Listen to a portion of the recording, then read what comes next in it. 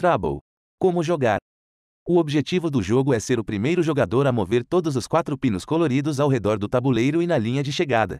Preparação: monte o tabuleiro e cada jogador pega quatro pinos de uma cor e os coloca em seus espaços de cores correspondentes.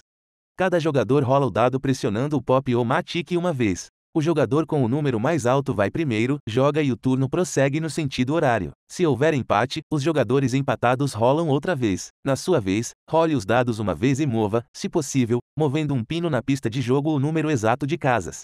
A pista de jogo é o anel circular externo de espaços excluindo os pontos de início e de chegada. Se o número 6 for rolado, você pode rolar e se mover novamente. Para tirar um pino do início, você deve tirar um 6.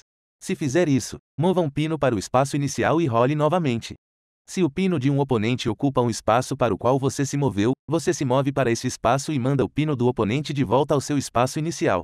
Você não pode se mover para o mesmo espaço que um de seus peões já ocupa. Se você não tiver nenhum movimento válido, seu turno termina. Os pinos sempre se movem no sentido horário ao redor do tabuleiro na pista de jogo. Quando eles chegarem à sua linha de chegada, você deve mover cada um, com um movimento exato, em um dos quatro espaços vazios possíveis. O primeiro jogador a colocar todos os pinos na linha de chegada, vence.